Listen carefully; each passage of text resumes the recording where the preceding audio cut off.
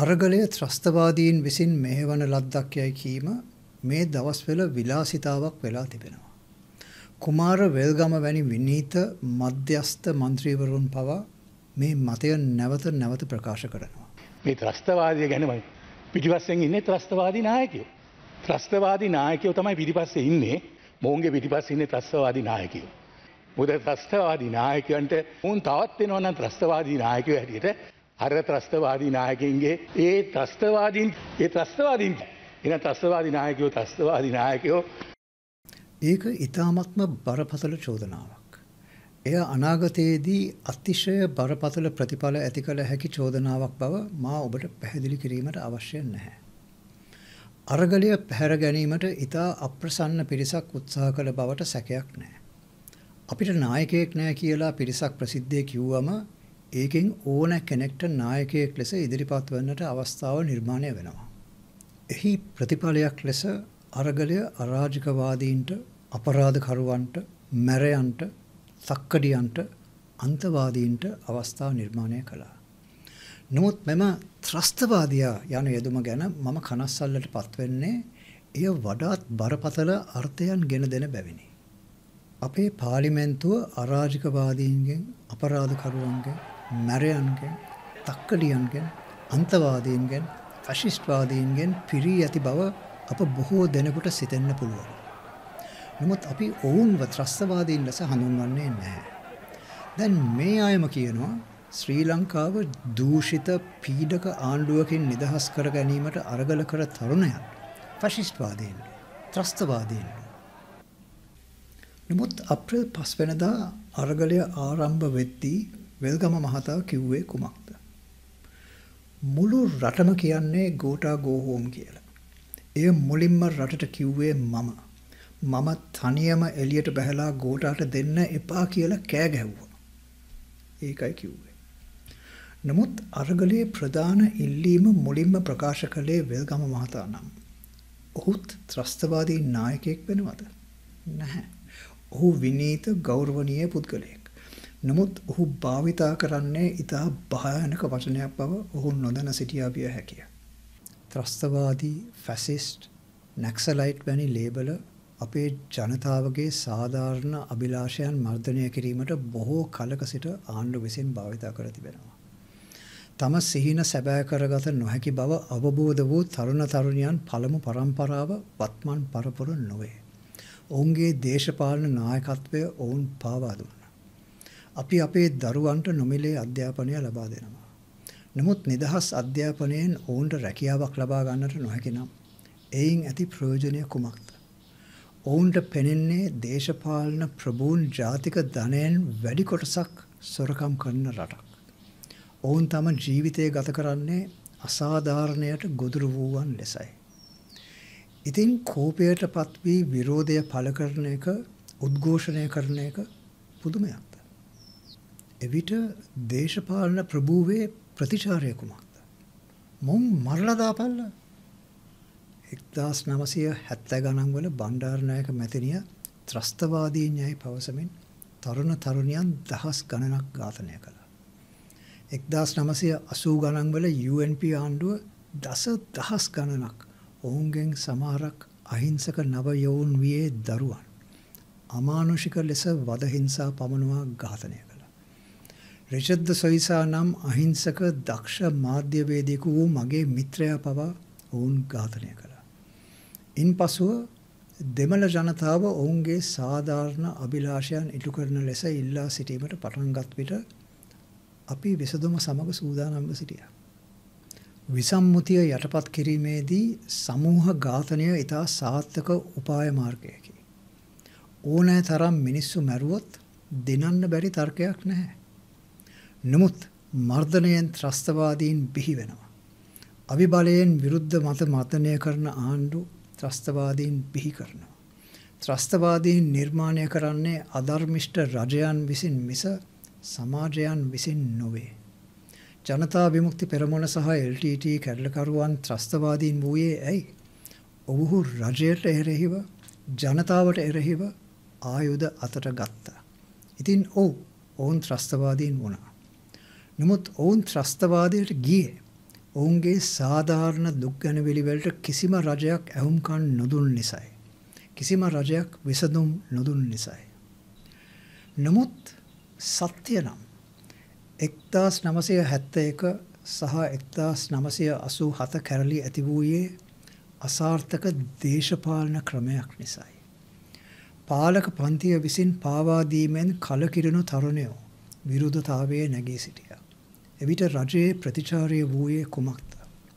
ඔවුන් සමග සාකච්ඡා කළාද? ඔවුන්ගේ දුක් ගැන විරිවලට ඇහුම්කන් දුන්නද? නැහැ. රජය ඔවුන්ව ඝාතනය කළා. යුක්තිය සඳහා කිසිදු පිළියමක් නොදී රජය ඔවුන් දස දහස් ගණනක් අමු අමුවෙන් ඝාතනය කළා. දැන් වෙල්ගම මහත්තයා සරිත් ප්‍රේමදාසට බනිනවා මේ ඊනියා ත්‍රස්තවාදීන් එක්ක කතා කරන එක ගැන. නමුත් කතා කිරීම, සාකච්ඡා කිරීම, තීරුම් ගැනීම මරා දැමීමට වඩා හොඳ නොවේද? නරක අදහස් ඇත්නම් එය පරාජය කළ හැක්කේ විවාදයෙන් මිස මර්ධනයෙන් සහ මිනිමැරීමෙන් නොවේ. අරගලයට නායකත්වය දුන්නේ ත්‍රස්තවාදීන් නම් අපි හැමෝම ත්‍රස්තවාදීන් වනවා. අපි ලෝකයේ පළමු සාමකාමී ත්‍රස්තවාදීන් වීම නිසා අපි ආඩම්බර විය යුතුයි. අරගලකරුවෝ කිසි වෙකුට හානියක් කළේ නැහැ. මේක හරිම අමුතු ත්‍රස්තවාදීන් ජාතියක්. ජුලි නමවැනිදා සාමකාමී විරෝධකරුවන් දස දහස් ගණනක් පාරට බැහැලා ජනාධිපතිවරයාට රටින් පලා යෑමට බල කළා. සජිත් ප්‍රේමදාස සහ අනුර කුමාර දෙසනායක මේ විරෝධතාව අනුමත කළා. ඒකෙන් ඔවුන් ත්‍රස්තවාදීන් වෙනවද? ඉන්පසුව මේ ඊනියා ත්‍රස්තවාදීන් සටන දිනලා මොකද්ද කළේ? ඔවුන් ආණ්ඩුව බාරගත්තද? ඔවුන් ජුන්ටාවක් ඇති කළාද? ඒකාධිපති පාලනයක් ඇති කළාද? ඔවුන් යුද නීතිය ප්‍රකාශ කළාද? නැහැ. ඔවුන් නිහඬව ඉවත් වී ව්‍යවස්ථාව අනුගමනය කරන ලෙස ඉල්ලා සිටියා. ජනපති මැදුරේ සොයාගත් රුපියල් ලක්ෂ 170ද ඔවුන් පොලිසියට බාර දුන්නා. මුන් පුදුම ත්‍රස්තවාදී જાතියක් නේ. එසේ වුවද මගේ මතය අනුව අවම වශයෙන් අරගලයේ යම් සුළු පිරිසක් විසින් සිදු කළ සමහරක් ක්‍රියා වැරදි ක්‍රියා විය. ජනපති මැදුරේ සිදු වූ ഘോഷාකාර తත්වය අරාජික තත්වයක් ලෙස ලෝකය දුටුවා විය හැකිය. රූපවාහිනී සංස්ථාව සාමයෙන් හෝ වේවා ආක්‍රමණය කිරීම වැරදි. ඒත් මතක තියාගන්න. මේ හැම දෙයක්ම කිසිම ආයුධයක් පාවිච්චි නොකර සාමකාමීව සිද්ධ වුණා. රජයේ ස්ථාවරත්වය කඩාකප්පල් කිරීමේ චේතනාවක් කිසි විටක ඔවුන්ට නොතිබුණ බව එයින් පැහැදිලි වෙනවා. ආණ්ඩු ක්‍රම ව්‍යවස්ථාවට තර්ජනය කිරීමේ අරමුණක් අර්ගලයට තිබුණේ නැහැ. කුරිරු පාලනයට එරෙහි සෑම අරගලයක්ම නිර්වචනයට අනුව නීති විරෝධීය. 1817 ඌව වැල්ලස්ස කැරැල්ල නීති විරෝධී විය. 1848 මාතලේ කැරැල්ල නීති විරෝධී විය. ප්‍රංශ සහ ඇමරිකානු විප්ලව නීති විරෝධී විය. නමුත් මේ සෑම අවස්ථාවකදීම කැරලිකරුවන් නිවැරදි බවත් ආණ්ඩු වැරදි වූ බවත් ඉතිහාසය පෙන්වා දෙනවා. බ්‍රිතාන්‍යයෙන් නිදහස ලබා ගැනීමට අරගල කර නිසා ජාතික වීරයන් රැසක් සිරගියට යවන ලදී. F R. Senanayake, D S. Senanayake, Anagarika Dharmapala, Baron Jayatilaka වගේ අය. නමුත් ඔබ ඔවුන්ව සලකන්නේ ත්‍රස්තවාදීන් ලෙසද?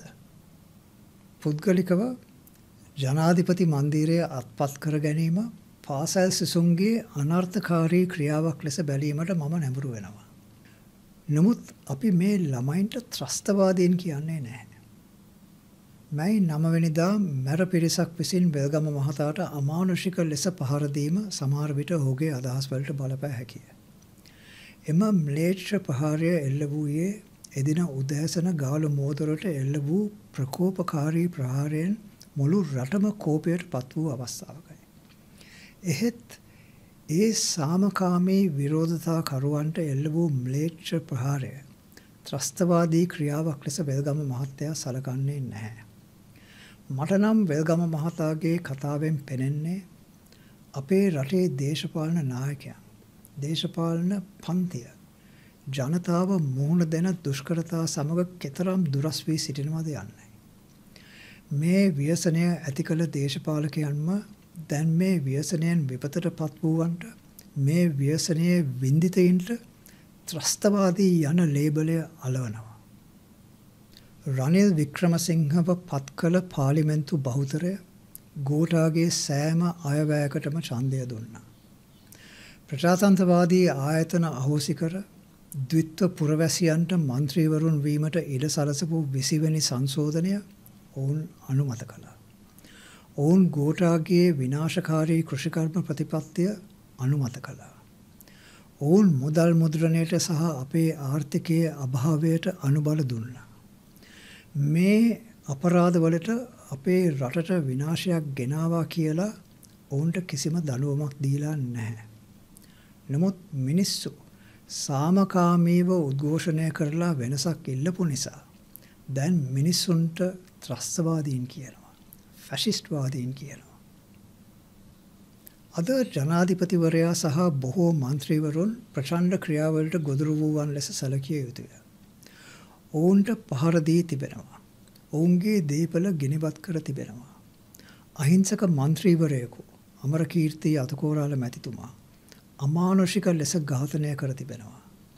අරගලයට කිසිම සම්බන්ධයක් නැති ඒ ක්‍රියා අපි කවුරුත් තරයේ හෙලා දකිනවා. ඒ ක්‍රියා කළ අපරාධකාරයන්ට අපේ සමාජයේ තැනක් නැහැ. නමුත් අතුකෝරාල මහතාගේ ඝාතනයේ පළමු සැකකරු බස්රත රියදුරෙක් මිස ත්‍රස්තවාදියෙක් නොවේ. කෙසේ වෙතත් එහි ප්‍රතිඵලය වී ඇත්තේ අරගල කරුවන්ගෙන් ඒ කියන්නේ පොදු ජනතාවගෙන් පලිගැනීම තම එකම අභිප්‍රාය කරගත් ආණ්ඩුවක් පත්වීමයි. ගාලු මෝදොර භීෂණය දුටුවේ අවස්ථා දෙකකදී පමණි. මැයි නමවැනි දින සහ ජූලි විසි දෙවැනි දින. අවස්ථා දෙකේදීම භීෂණය ඇති කළේ රජය විසින් මිස විරෝධතාකරුවන් විසින් නොවේ. ජනාධිපතිවරයා සහ පාර්ලිමේන්තුවේ බහුතරය අරගලයෙන් යමක් ඉගෙනගත් බවක් පෙනෙන්නට නැති එක ගැන මම කනගාටුයි. අරගලකරුවන් එනම් මුළු රටම අපේ මාතෘභූමිය විනාශ කරපු ගෝඨාට යන්න කිව්වා. ඔහු වෙනුවට සර්වපාක්ෂික ආණ්ඩුවක් පිළිටවන ලෙස ඉල්ලා සිටියා. මහා මැතිවරණයක් ඉල්ලා සිටියා. විධායක ජනාධිපති ක්‍රමය අහෝසි කරන්න කිව්වා. රනිල් සහ ඔහුගේ මන්ත්‍රීවරුන් හැර මෙම ඉල්ලීම් අසාධාරණ බවට තර්ක කරන කිසිවෙකු ශ්‍රී ලංකාවේ ඇතැයි මම නොසිතමි. නමුත් අර්ගලයේ ප්‍රතිඵලය කුමක්ද? ජනතාව දේශපාලකයන් දකින්නේ රටේ ප්‍රශ්නවලට හේතුව මිස විසඳුම ලෙස නොවේ.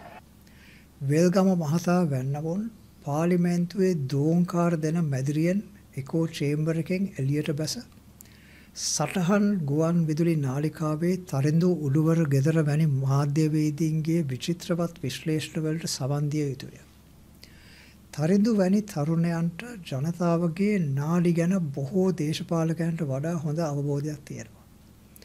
ඔවුන් ත්‍රස්තවාදීන් නම් අරගලිය ත්‍රස්තවාදීන් විසින් මෙහෙවනු ලැබුවේ නම් අපි අතර ත්‍රස්තවාදියෙක් නොවෙන්නේ කවුද?